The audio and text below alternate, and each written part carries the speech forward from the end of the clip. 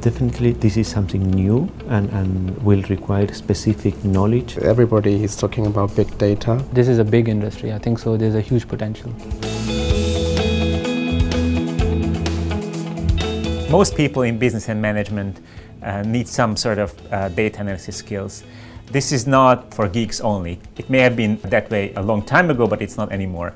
People, if you are a manager, if you are an HR manager, if you are in business development, in marketing, you would need some kind of tools to, to analyze data. We have huge problems everywhere in the world. Food is a problem, water is a problem, pollution is a problem healthcare is a huge uh, problem and now many of these problems can be solved by the help of data. The new MSc in Business Analytics program is a cross-disciplinary program by integrating four areas, the management, economic, statistics and technology.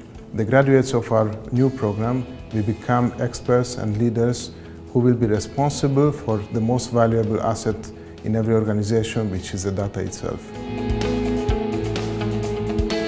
Data is really changing our lives and the way we do business. There are some businesses that have always been very data-driven. For example, telecom companies or banking or credit card processing, retail.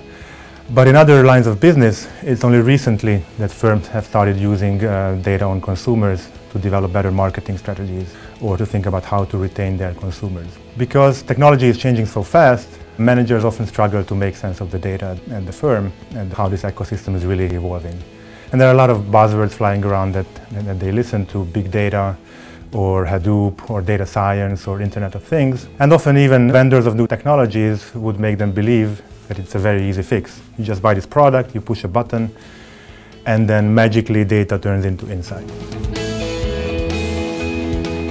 This new program at CEU helps us not only to understand the business of big data analytics, but also gives us an utopistic view on what skills we should acquire in order to keep pace with the changing demands of the labor market. My own personal opinion is that, that I read that uh, soon the data scientists have the same importance as surgeons in the US.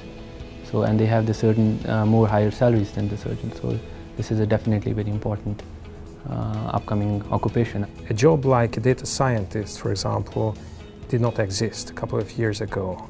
The reason for this is that companies realize that there is a need to be able to analyze information or analyze data to get access to insights and knowledge because that can give them a competitive advantage compared to their competitors. As of today, only 19% of enterprises are using analytics and they are considered to be data-driven organizations.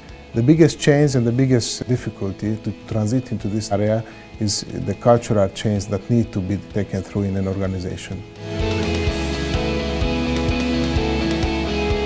I believe Budapest is the perfect place to start a program in business analytics. I would even call Budapest the technology hub of Central Europe. There are large corporations like IBM and GE and uh, small but already very successful startups like Prezi. What we are trying to show here is what are the tools that should help you understand questions and what are the questions you should ask your computer scientists and, and what, are the, what are the issues that are relevant that you can use data to understand better and, and how can you believe what, what people are, are telling you, what questions to ask them.